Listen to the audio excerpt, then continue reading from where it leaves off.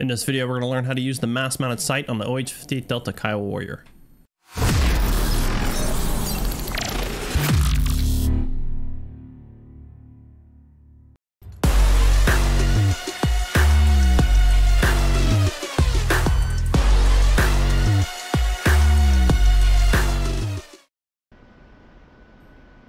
Footage used in this video is pre-release software and is intended for promotion and training purposes. Its visual and audio qualities may not represent the final product.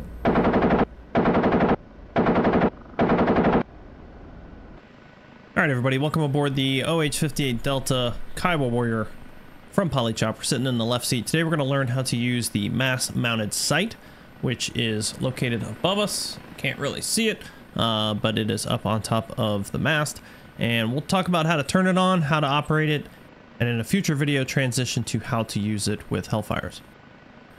Alright, so the first thing that we need to do is actually turn it on, and we do that here on the switch. Now we can't do that without having AC power. So if we look up at the overhead panel, we've got all of our generators on, which means we should have AC power. We can look over at our MPD and rotate that up to AC voltage. We do have what we need.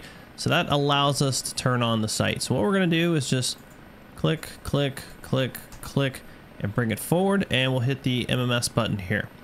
And what's going to happen is it's going to unstow. Uh, the mast-mounted sight hangs out uh, facing rear of the aircraft, and once it's ready, we can bring it forward. Now let's talk about our key mapping and take a look at the Copilot cyclic grip into control options and get an idea of the things that we need to have. So in order to bring it forward, uh, just like we did when it was coming out of a, a stow, is our MMS manual slash slave. This button you're going to use quite a bit. Uh, I use my uh, little mini stick, uh, the Z-axis press. That's what I use to bring it out of uh, its various slave modes into manual mode. So that's what you're going to use to rotate it between uh, manual mode, moving around yourself, and pre-point mode, forward mode, things like that. Additionally, you're going to want your field of view. Uh, that's going to allow you to toggle through the various magnifications as well as some other uh, scrolling menu items that we can talk about in a future video. Area track is just what it sounds like. It's going to allow you to track an area. And our sensor select allows us to transition between TV and thermal imaging. Target designation locate function is going to allow us to use the laser to actually designate and save a target. And of course our fire laser press and hold, that's going to allow us to fire the laser. Some of these other functions are here, but we're not going to really talk about them too much today. Uh, but those are the basics that we need to get the MMS going. All right, so using that MMS uh, manual slash slave, we can see I've brought the system forward and it's telling us that it's forward and the TIS is still hot because we just brought the aircraft or the MMS online. So that thermal imaging system has got to cool down before you can use it. I'm just going to rotate, kind of show you uh, since we're looking at something very close, the trees are right there. Uh, it's very hazy, but uh, the TIS is cooling down, and once that message goes away, then it's ready to use. But by hitting that manual slave button, we can see that uh, the cursor looks a little bit different, and we can move it around when it's in manual mode. So what we can do is move the sight off to the right, and once we hit that manual slave again, because we've got it in the forward, it's going to come back forward. We can see that center line there uh, that uh, closed caret is showing us where the MMS is looking. Up here at the top right, we can see also from the center line, we can tell that it's now looking 13 degrees off to the right of the center line of the aircraft and 5 degrees to the left, as well as when we increase or decrease the uh, vertical azimuth, we can see that it's changing there as well. Now, why do you care about that? There is no way for us to visually see where the MMS is looking. Uh, that is to say, I don't have a helmet mounted sight. I can't tell where this is. And sometimes it can get very confusing. Uh, additionally, for the pilot on the right side, he may not have a good idea of where we're looking. So by having that information handy, it at least gives us an idea of where the MMS is looking. So if I push the MMS way off to the left, We'll just put it at about 70 degrees here off to the left. If I'm flying in the right seat, I've got that information. I know where the MMS is looking. I've got different ways to tell me. And so now I can uh, maneuver the aircraft to keep the sight uh, where it needs to be and help the, the left seater out. All right, I'm gonna get the aircraft picked up so we can look over these trees, but first we'll just talk about some of these other buttons over here. So starting on the left side, this is the, the actual MMS control uh, panel and we'll start here at the top laser codes. So if we press that button it's bringing up the actual laser codes that we have uh, in the system. So if we want to change one of these we just select which one we want to change and we can hit uh, clear and we can just type in what we want. 1687 enter and there we have it. If we want to go back out of that page we just hit laser codes again. All right below that this is how we uh, arm the laser uh, but we can bring it to standby. We can do things with it but uh, we've got to bring it to arm in order to actually use it. And again that laser switch is right here on our cyclic. You can see that moving you want to have that mapped as well. We'll keep it on standby for now. And then first and last, this is in real world, the laser designator is going to pick up either the first or last uh, burst of information that it sends out. It, it's actually sending out multiple codes over and over. Uh, so this has to do with uh, kind of burning through obscurance or maybe there's some, some bushes or something in the way. And then, uh, but for purposes of DCS, you can do whichever one you want. Here we've got our video uh, focus and how to sort of change the way things look on the screen. Uh, here on the left is how we actually change uh, the way things look for the, the overlay of the screen. So if we've got a white background, we want to make that dark and, and so on and so forth. Here on the right, this is how we can change the level and the gain. Once we pick it up, uh, we should probably see a little bit more of that. Change our focus. This is how we set that to auto. Now within DCS, none of these work. This is not functional because of just sort of the nature of DCS and uh, that, that it's a computer game uh, that doesn't know what correct is. So it's not going to be able to auto focus there. The operating switch is how we're going to go into obviously forward, pre-point, search. We'll talk about all that here in a short bit. In the center, we've got some switches. Most of these are irrelevant to us. Uh, the uh, the ALFGL, I don't even remember what that stands for. Uh, it's not operational. TIS integrate is not operational. LMC, the linear motion compensator, is going to take into account the range to a target. So if we lay something, it's going to know how far away that thing is, and then it's going to help us uh, control the slew rate of the sight. So LMC does work, and the automatic leveling does not work, so we don't need to worry about that. Here above that, if we want to go to the weapons page or the ASC page, we just flip those up and down. And if we want to go back to the initial page uh, where we started, we can just hit down. So we'll go back to the MMS and I'm going to go ahead and get the uh, aircraft up in the air so we can look over these trees and start doing some stuff. All right, so looking outside, we can see that we're right on the edge of the tree line. I can't really see uh, far out there, but if I look in the sight, we're actually seeing uh, above the trees, which is the whole point of the MMS. And I'm going to switch over to TIS. It should have cooled down by now. And we can see that the TIS is not great. All right, the TIS, uh, and this is accurate as it kind of looks into the sun or has other sort of uh, obscurance. Things will start to look a little bit weird. Uh, but really, all it's good for is kind of finding hot spots like this. So we found this hot spot out there, and we'll uh, we'll zoom in using that field of view and we can sort of zoom in there. We can change over to white hot to black hot. It's not really helping us just because of the situation that we're in. So we're going to switch back over to TV and now we've got the target in sight. So taking a look here on the left side, we've got range.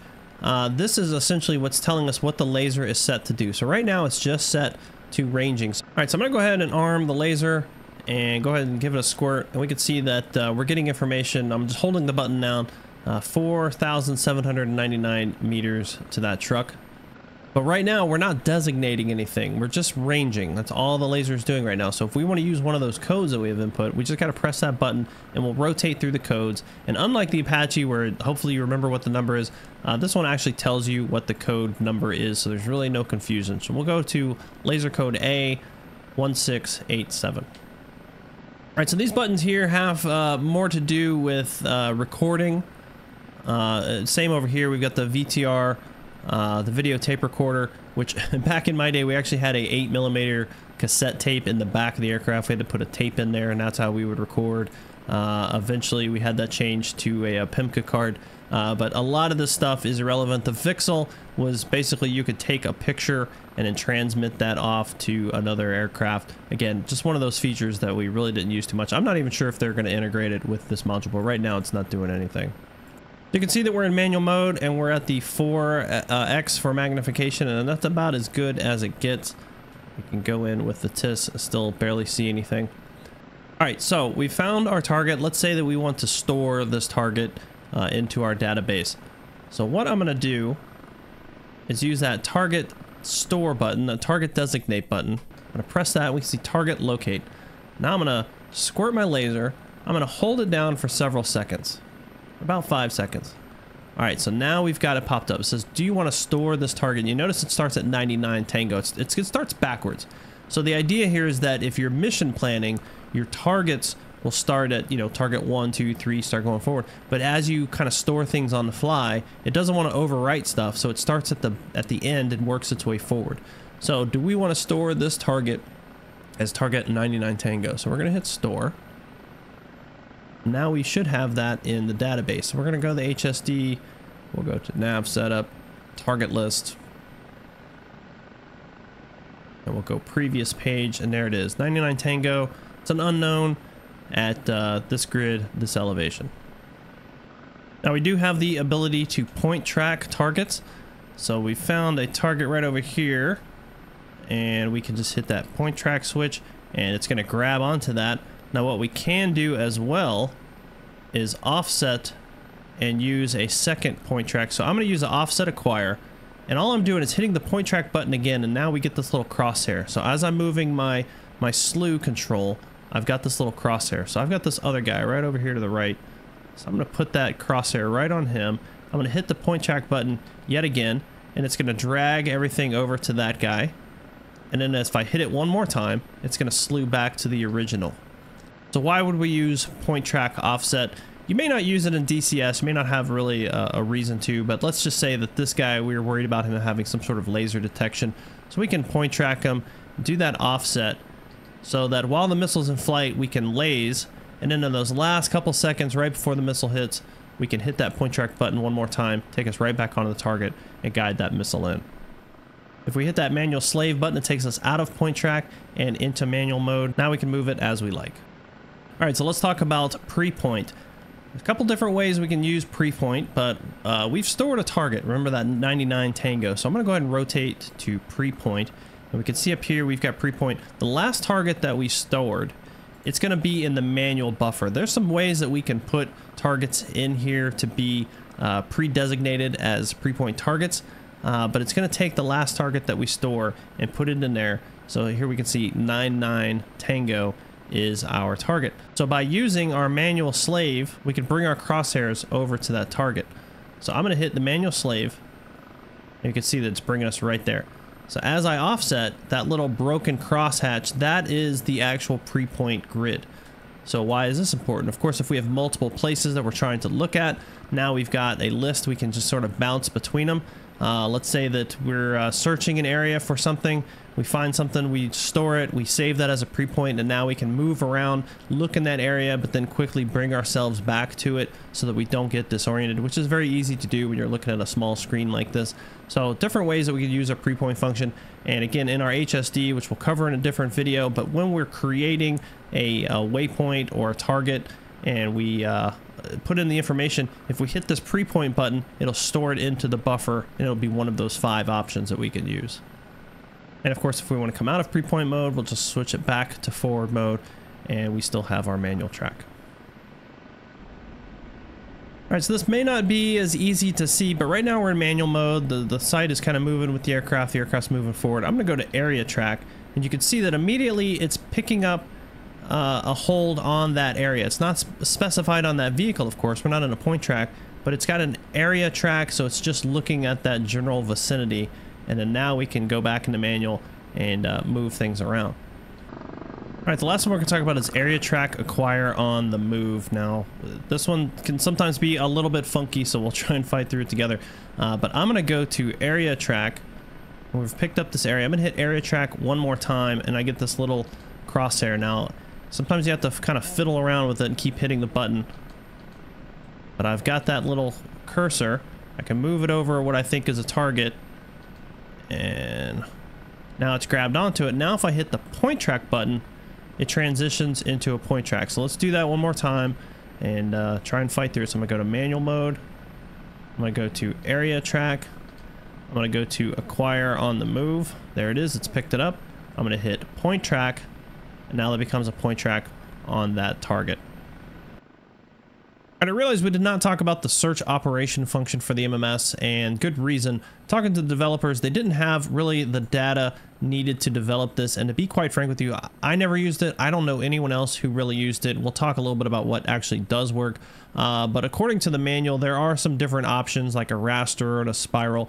The only thing we've got available to us is point and sweep, so I'm just going to turn this on. Uh, we're at the offset, uh, so center, so this is center line, uh, nose of the aircraft, sweep 30 degrees. So it's going to go 15 degrees either side of that center line.